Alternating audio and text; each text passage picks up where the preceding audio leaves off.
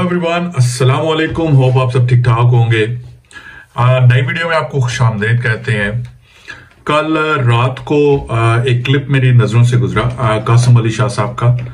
आ, वो खान साहब से पूछ रहे थे कि जी खान साहब क्या आप मुझे टिकट देंगे? कासम अली शाह साहब खान साहब से कह रहे थे कि मेरे लाखों फॉलोअर्स हैं बहुत से लोग मुझसे इंस्पायर्ड हैं। लाखों करोड़ों लोग मेरी वीडियोस देखते हैं। तो एजुकेशनल मेरा बैकग्राउंड बड़ा अच्छा रहा है। बड़े बड़े उहदों पे लोगों को पढ़ाता रहा हूँ। तो क्या आप मुझे टिकट देंगे? हाँ साहब कहते हैं हाँ जी, हम आपको टिकट देंगे। फिर उन्होंने एक स्पेसिफिक हल्के का नाम लिया। फिर उन्होंने दोबारा अपनी बात रिपीट की। तो दोबारा उनसे खान साहब ने कहा, आपको टिकट देंगे। बड़ा अच्छा लगा ये देख के कि वो लोग जो सियासत को एक गंदा खेल समझते थे और उससे दूर बैठे हुए थे, उन्होंने पॉलिटिक्स के अंदर इंटरेस्ट लेना शुरू किया। मैं बड़े अरसे से ये कहता आ रहा हूँ। गो के मेरे जैसे लोगों की आवाज़ बड़ी लिमिटेड होती है, क्योंकि हमारा सर्कल बड़ा लिमिटेड होता है तो आवाज़ दूर तक पहुँच नहीं पाती।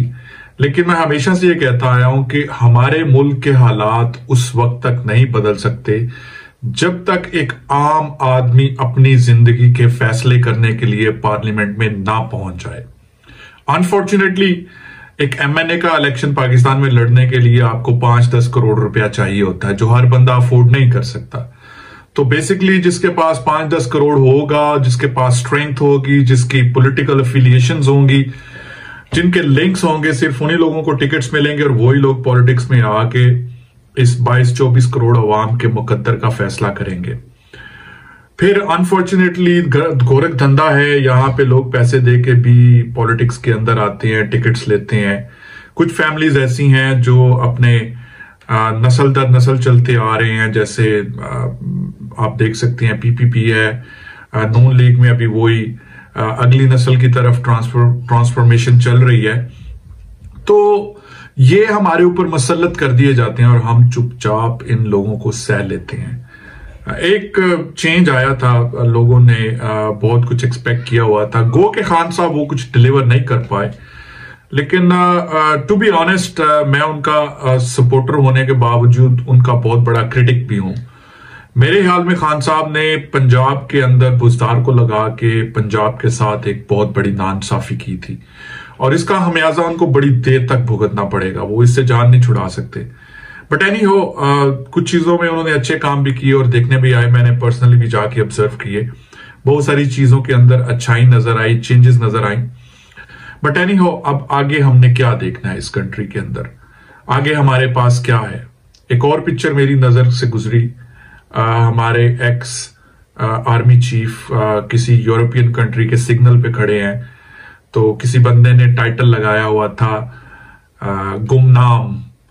तो मुझे बड़ी हँसी आई देख के कि एक बंदा जो इस मुल्क के मुकद्दर का फैसला करता था, वो आज किसी यूरोपियन कंट्री के किसी सिग्नल पे गुमनाम से ज़िंदगी गुजारने के लिए भी तैयार बैठा हुआ है। बड़ा अनफॉर्चुनेट होता है इस तरह की तस्वीरें देख के, इस तरह के मामला देख के। लेकिन जब यही लोग साहब इकतदार होते हैं, जब इनके पास पावर्स होती हैं तो शायद वो अपनी पावर्स और अपने अपने इकतदार के साथ सही तरीके से इंसाफ नहीं कर पाते। अपार्ट फ्रॉम दैट हमें ये लगता है कि जो जर्नैल एक दफ़ा रिटायर्ड हो गया तो वो फिर उसकी ताकत और उसका मामला जो है, वो इस निज़ाम से बिल्कुल कट ऑफ़ हो गए।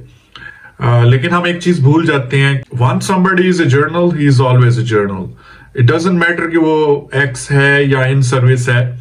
अगर हम रिसेंट पास्ट रिसेंट हिस्ट्री में देखें तो हमें uh, कुछ इस तरह की चीज़ें देखने में मिली जिसमें हमें ये लगा कि शायद पाकिस्तान के एक्स आईएसआई चीफ जो थे वो उनकी बाजवा साहब के साथ शायद कुछ खनबन हो गई जिसकी वजह से बाजवा साहब ने उनको खुडे लाइन कर दिया और उसके बाद एक नया आर्मी चीफ का नाम आगे आ गया और शायद इसी वजह से उन्होंने अर्ली रिटायरमेंट ले ली।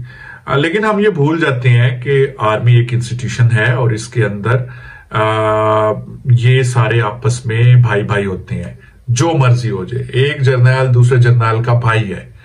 अब आप इसकी एग्ज़ाम्पल रिसेंटली देख ले कि हम लोग समझ रहे थे कि पता नहीं उनका कोई बड़ा, वो पंजाबी में कहावत है ना कि इट कुत्ते का वैर है।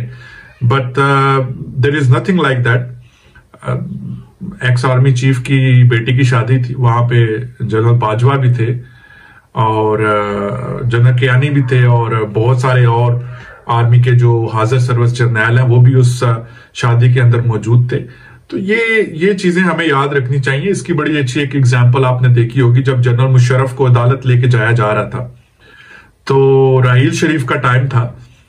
तो पूरे का पूरा कॉन्वॉय जो था वो मिलिट्री हॉस्पिटल की तरफ़ आ, आ, उसका मुँह मोड़ दिया गया। तो आप ये देखें ना कि वो किसने किया? वो साफ़ नज़र आ रहा है। आर्मी ने किया। आर्मी कभी भी अपने जर्नैल को सजा देते हुए या उसको कटहरे के अंदर जाते हुए और इस तरह उसको बदनाम करते हुए या डीफेम होते हुए नहीं दे सकती। ये एक हकीकत है कि स्टैब्लिशमेंट इस मुल्क को रूल करती आई है और करती रहेगी at least in the near future आप आज, कल रात को मैं, मैंने एक इंडियन न्यूज़ देख रहा था तो अचानक मेरे सामने एक चीज़ आई तो खैर पता तो पहले भी था। वो कह रहे थे कि 70 ईयर से पाकिस्तान के किसी भी वज़ीर आज़म ने अपनी पाँच साल की टर्म पूरी नहीं की। तो मैं सोच में पड़ गया कि क्यों? आखिर ऐसा क्यों होता है कि कोई भी प्राइम मिनिस्टर अपनी पूरी टर्म कर नहीं पाता? जो उसको लाने वाले होते हैं, वही उसके एट द एंड पे जाके उसको वो टर्म पूरी नहीं करने देते और उसको कहीं ना कहीं पे ये एहसास दिलाते हैं कि, बहू, तू हमारे बगैर कुछ भी नहीं है। तो शायद वो अपनी ताकत को दिखाना चाहते हैं, शायद वो अपने होने का एहसास दिलाना चाहते हैं। जिसकी वजह से वो डिफरेंट तरीकों से और डिफरेंट रंग्स के साथ मुख्तलिफ़ प्राइम मिनिस्टर्स को वो उतारते आए हैं। बड़ी अनफॉर्चुनेट सिचुएशन है, लेकिन इन इदारों को अपने लिमिट्स के अंदर रहना पड़ेगा और अपने लिमिट्स के अंदर रह के काम करना होगा। इदारों की इज़्ज़त हम बहुत करते हैं। इदारों से हमें मोहब्बत भी बहुत है। अपने जवानों की शहादतों को भी हम कभी नहीं भूल सकते। लेकिन इन इदारों की पॉलिटिक्स के अंदर इंटरफेरेंस जो है, इस मुल्क को तबाह कर रही है। और इस मुल्क को तभी ठीक किया जा सकता है जब हर एक इदारा अपनी लिमिट के अंदर रह के काम करे।